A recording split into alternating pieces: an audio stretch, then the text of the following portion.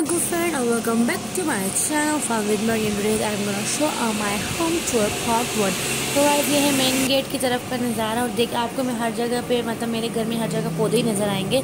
तो देख सकते हैं कि मेरा क्या कहते हैं जो मतलब मेन गेट एंटर हो तो यह पूरा नज़ारा आता है। तो हम जैसे आगे जाते जाएँगे तो फिर और भी बहुत सारे मेरे घर में सहन भी बहुत आएँगे टोटल तीन से चार सहन है।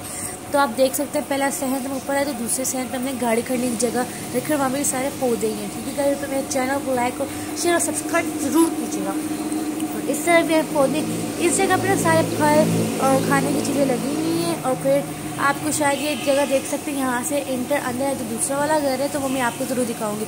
अल्लाह हाफिज़ और लाइक भी कीजिएगा चैनल को सब्सक्राइब भी कीजिएगा। अल्लाह हाफिज़।